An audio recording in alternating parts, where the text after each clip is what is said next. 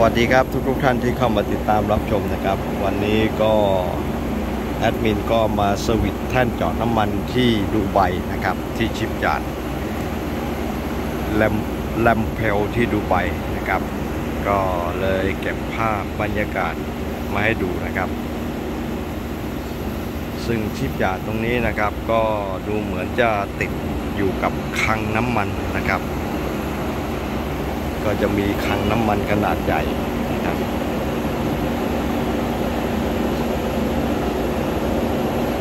ซึ่งตอนนี้ก็มีหลิกมีแท่นจาะน้ำมันมาจอดอยู่ที่นี่หลายหลายแท่นเหมือนกันนะฮะ